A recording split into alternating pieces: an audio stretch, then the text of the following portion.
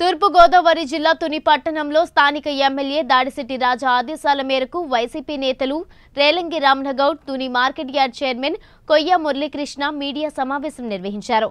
ప్రజాస్వామ్యాన్ని కూని చేసే పార్టీ తెలుగుదేశం పార్టీ అని వారు మండిపడ్డారు. అనంతరం వారు మాట్లాడుతూ దొంగకు అందరూ దొంగలాగే కనబడతారని గత టీడీపీ ప్రభుత్వంలో వైసీపీకి ఓటు వేసిన చాలా మంది పెన్షన్లు తొలగించారని అయితే వాళ్ళు తప్పు చేశారని అందరూ తప్పు చేశారనుకోవడం సరికాదని తెలిపారు. టీడీపీ హయాంలో పూర్తి చేయని హౌసింగ్ పెండింగ్ బిల్స్ను ప్రస్తుత వైసీపీ ప్రభుత్వంలో పూర్తి చేస్తున్నామన్నారు. ప్రజలను మోసం చేయాలని చూస్తే రానున్న రోజుల్లో తగిన బుద్ధి చెప్తారని తెలిపారు. ఈ కార్యక్రమంలో వైసీపీ నాయకులు కార్యకర్తలు పాల్గొన్నారు. మాటలు వైఎస్ఆర్ కాంగ్రెస్ గవర్నమెంట్ ప్రజాస్వామ్యాన్ని కూనీ చేస్తుందని మాట్లాడుతున్నారు. తెలుగుదేశం నాయకులను ఒకటి అడుగుతున్నాం.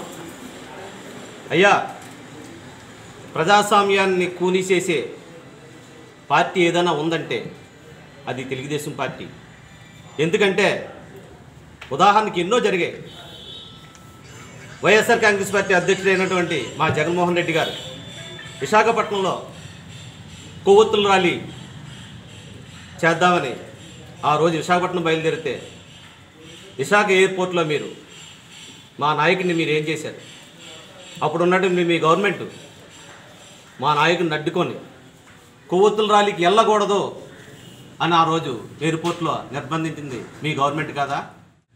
ఎంతోమంది పెన్షన్లు తీస్తారు మేము ఎనిమిది నెలల్లో కూడా వైఎస్ఆర్ పార్టీ వచ్చిన తర్వాత ఎటువంటి రాజకీయ కోణంలో ఆలోచించకుండా వారు ఇచ్చిన వారికి వారు చేసిన వారు పెట్టిన వాళ్ళకే లోన్లు ఇస్తున్నాం. ఎక్కడా కూడా హౌసింగ్ ఎవరికి పూర్తి బిల్లు ఇవ్వలేదు. వాళ్ళకే ఇప్పుడు బిల్లులు ఇస్తున్నాం మేము. మా జగన్మోహన్ రెడ్డి గారు హౌసింగ్ బిల్లులన్నీ పూర్తి చేయమన్నారు. అది ఎవరికి పెట్టుకున్నారు వాళ్ళు?